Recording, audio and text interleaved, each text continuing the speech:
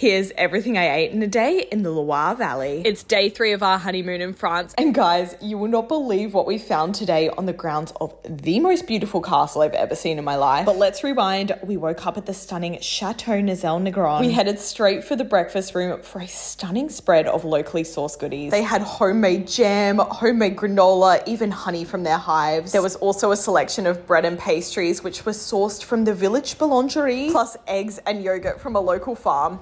How good. First activity for the morning was visiting Beauregard's castle. The highlight of this place was definitely the room that was filled with portraits of celebrities' dogs. Annoyingly, we're in a bit of a rush for lunch, so we ended up just going to like a quick service restaurant. The nice thing in France is even the food at these kind of places is actually done well. I got this Greek salad grain bowl, and honestly, it was quite nice to have something a bit lighter and fresher after all the heavy French food. After lunch, we headed to Chambord Castle. And I know I keep saying it, but this place is a real life fairy tale. Like, look at this castle. Okay, but the best part was on the castle site, we found this place that did automatic wine tasting. So you pay four euros and then they give you this card and you can choose whatever wine you want to taste from their selection. I don't know why, this was just such a fun novelty and I kind of enjoyed getting to do like a self guided wine tasting. Also, you get to keep the glass at the end, so quite a bargain for four euros. We then drove on to our next accommodation, which was this beautiful hotel set on a huge property in the middle of the countryside. This is yet another chateau that's been converted into accommodation. Everywhere we stayed so far has been so unique and had so much character. For dinner, we headed into Blois to this tiny restaurant that was just packed out with locals. The staff here was so, so lovely. They brought us out some tapenade and some gazpacho to begin the meal. To drink, I got a Kir Royale and champagne and cassis is such an elite combo. For my starter, I ended up getting another gazpacho. This one was made with melon, lime, and goat's cheese, which was such an interesting combination. It was refreshing and rather sweet,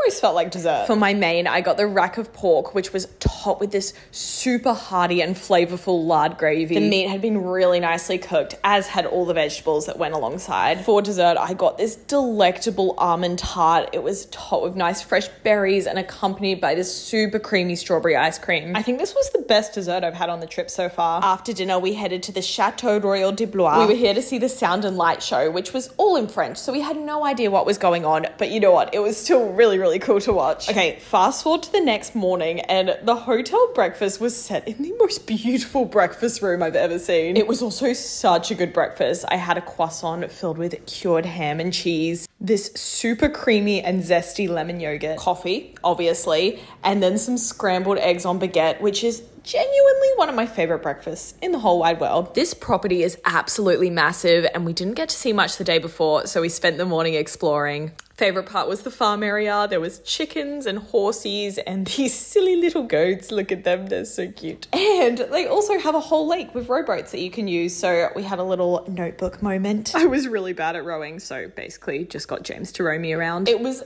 very sad to say goodbye to this beautiful place, but we had to make our way to Paris because the next day we're flying out to a very exciting destination.